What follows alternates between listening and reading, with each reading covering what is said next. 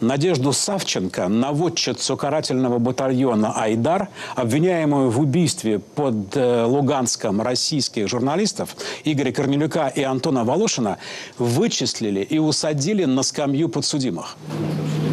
За несколько месяцев следствия она четырежды объявляла голодовку, готовилась к фотосессиям, меняя наряды, похудела. Во вторник на этой неделе Надежда Савченко выступила на процессе по своему уголовному делу с последним словом. А тепер останнє слово ви хотіли, так? Да? От вам моє останнє слово. Всім добре видно. А тепер перекладач, перекладіть, будь ласка, мій останній жест. Кривлялась, пытаясь оскорбить суд, кричала, что не подсудна и хочет домой. Дождавшись окончания спектакля, суд удалился на совещание до 21 марта.